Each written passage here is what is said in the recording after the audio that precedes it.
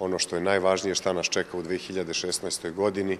Mnogo toga ima, znate i sami da je na preporuku Republičke vlade smanjene su subvencije za 15% u odnosu na 2015. godinu, tako da sve ono što bi mogli da kažemo sa, sa ove sednice vezano je za neke investicijone aktivnosti pojedinih javno-komunalnih preduzeća, na primer e, vodovod i kanalizacija, 254 miliona 795 hiljada sredstva su opredeljena za rekonstrukciju postrojenja za preradu vode koje bi uskoro trebalo da bude pušteno u probni rad. Javno-komunalno preduzeće preduzeće Zohigijena i veterina ove godine kapitalne subvencije 29 miliona, biće nabavljeno jedno vozilo za prevoz uginulih životinja koje će da ima rampu, to je opredeljeno je 3 miliona i 850 hiljada. E, zahvatanje, spašavanje, tretman i stacionarno smeštanje životinja 3 miliona i 150 hiljada.